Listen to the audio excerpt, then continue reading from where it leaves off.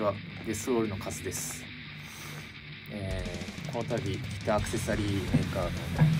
ェニックスさんの方からなんとギターワイヤレスシステム、えー A8 ですね。こちらの方、えーなんと提供いただきまして、えーこちらの紹介の方していけたらいいなと思います、で早速ですが今つないでこんな形ですね、えー接続して使ってるんですが、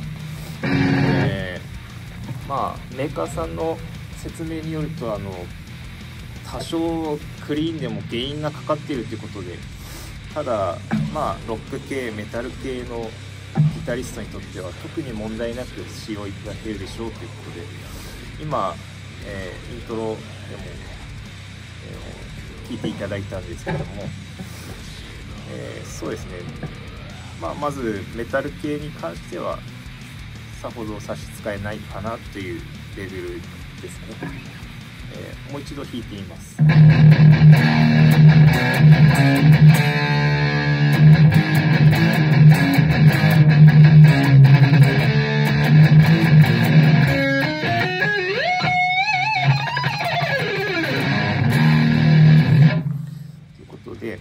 まあ、気になるのはあのクリントーンの本になると思うんですが、えー早速クリントーンの方、えー聞いてみますとですね。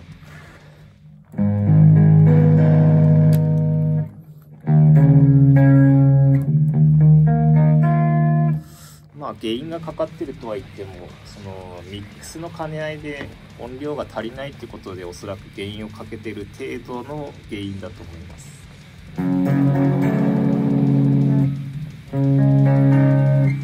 まあ、一応今、えー BC リッチドラコンの初期配置のピックアップのまま今リアトーンで弾いてるんですけれどもまあさほどそうですね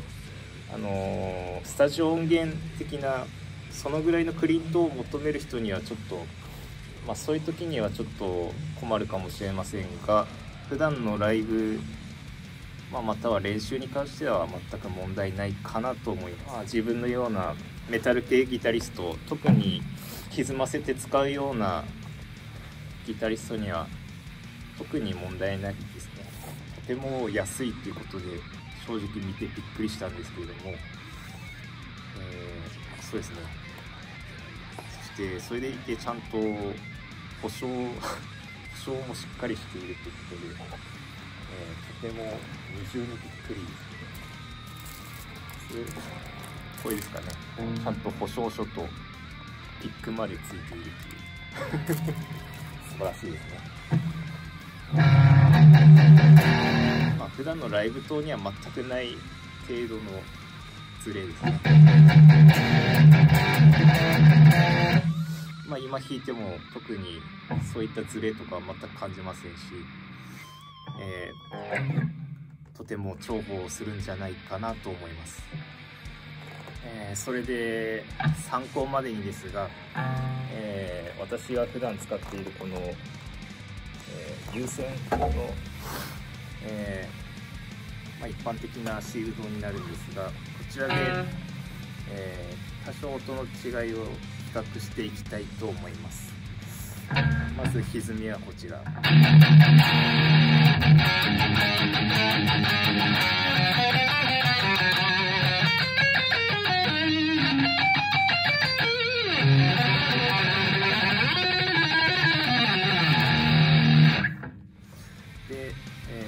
えー気になるヒズ、えークリーントーンの方はこちらですね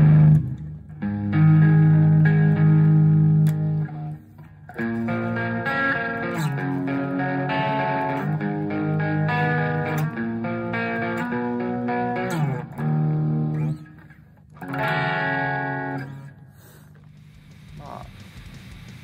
普段使いで使う分にはさほど影響ない程度の違いかなと個人的には思います、まあ、もちろんあのちゃんとしたレコーディングとかそういった時にはもっといくつも聞き比べてちゃんと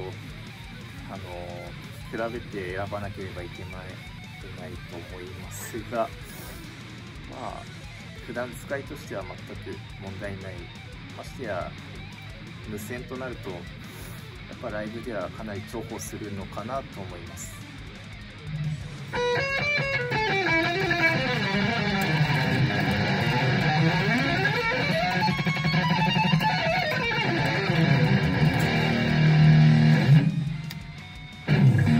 以上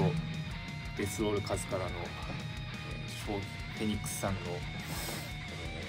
ーワイヤレスシステム紹介でした。ではまた。